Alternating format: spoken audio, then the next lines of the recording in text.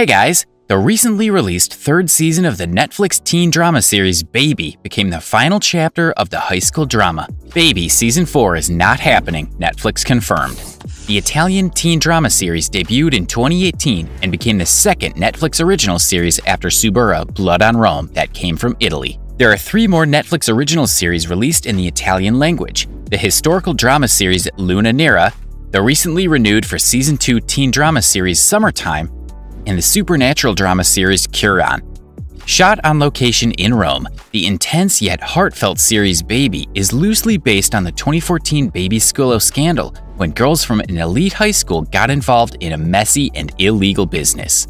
The storyline of the final season 3 was somewhat predictable, and frankly, it was the only way to end the series, with police dismantling the ring.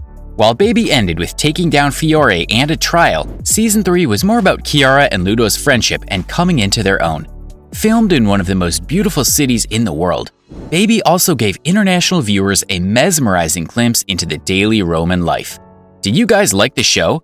Who was your favorite character? Share with us in the comments. Also, please hit like for this video and subscribe to the channel for more Netflix news.